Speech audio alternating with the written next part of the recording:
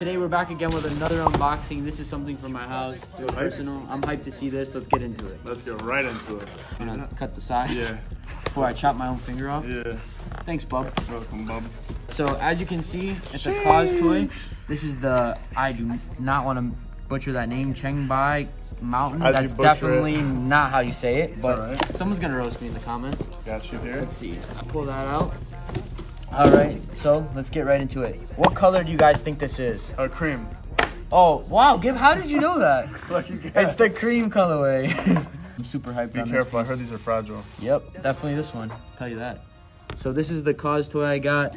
They had this in China and a blow up in the mountains, and there's one other colorway, which is gonna be like the green, brown, like the traditional KAWS toy.